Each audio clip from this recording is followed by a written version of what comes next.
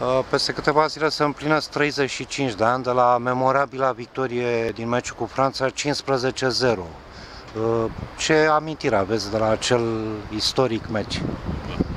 Uh, sunt amintiri plăcute și la mine acasă am un, un colț așa în care am și o fotografie de la meciul cu, cu, stea, cu meciul cu, cu Franța și totuși atunci, în anii 80, uh, a fost totuși pentru noi, România, o, un meci foarte important și o victorie foarte mare, pentru că Franța, uh, în timpul respectiv, era una dintre cele mai puternici echipe din, uh, din Europa. Și a doua zi plecau în, într-un turneu în Africa de Sud și președintele lor, Feras, atunci era foarte, foarte supărat pe jucători pentru că erau niște jucători de elită foarte mare, mondială. Ce să vă aduc aminte așa, când ne aduc aminte de uh, Paparebord, uh, Screla, Rip, uh, jucători Furu, Blanco, cu Blanco, chiar apropo, m-am întâlnit la campionatul mondial acum în, în, în, în Anglia. Și atunci i-am adus aminte când am marcat eu atunci, el de optică, să zicem așa în termenul ăsta, m-a lovit în, cu piciorul în coastă și cam 3-4 luni de zile am suferit uh, dincolo.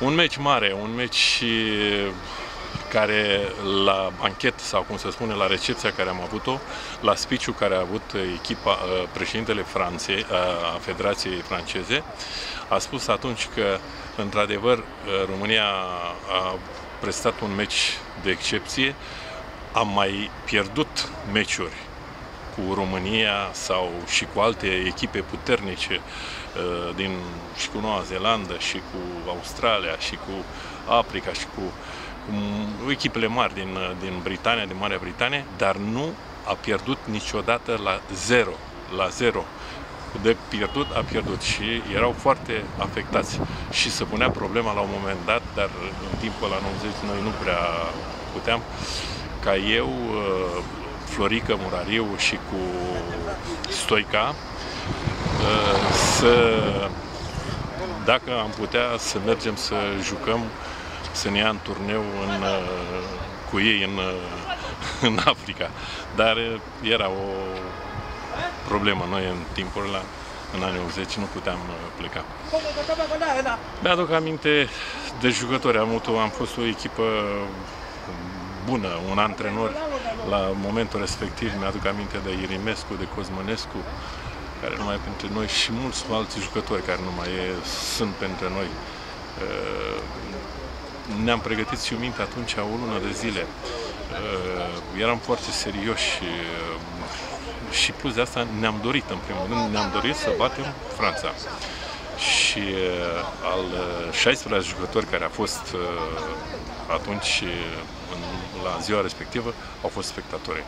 A fost un record atunci la, la meciul cu Franța. Al doilea record a mai fost când am jucat cu All Blacks pe stadionul mare, 23 august, cum se numea. Atunci tot la fel era, au venit spectatori. Atmosfera, bine, s-au mai schimbat uh, regulile jocului, dar noi uh, jucam din plăcere atunci și totul din devotament.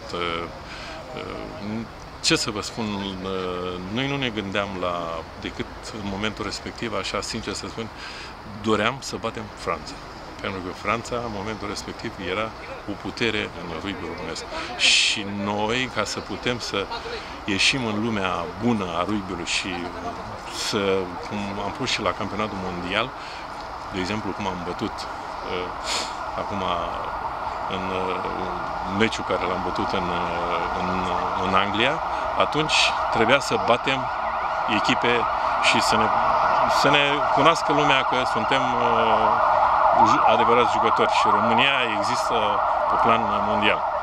Și într-adevăr, atunci echipa inspirată care a, a făcut-o antrenorii, atunci staful tehnic, ne-am dăruit, am jucat atunci și în final nu am crezut, eram în cabină și ne uitam, n-am, uh, nu credeam în momentul respectiv că noi am bătut Franța la, cu 15 la 0. A fost o victorie pentru noi, pentru sportul românesc în general. Și după care a început uh, Federația Internațională să ne caute prin federația noastră, forul nostru, și să uh, jucăm cu echipe. Ne invitau echipele Italia, Franța, Anglia, din Marea Britanie să jucăm cu ei datorită acestor, acestui rezultat. E, ce să vă zic așa, amintiri plăcute, dar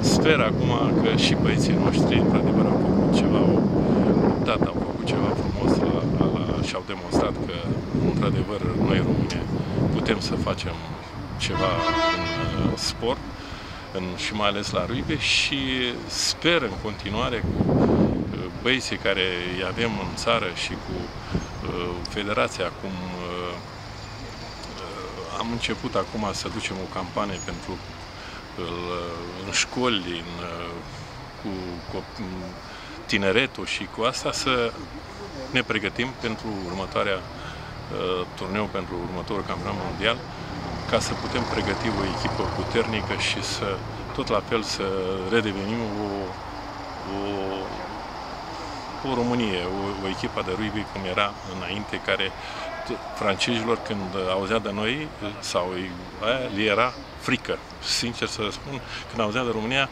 mulți jucători refuzau să vină să joace cu noi pentru că ei, noi eram în momentul, la momentul respectiv, cum au fost și generația de handbal, de basket, de vole.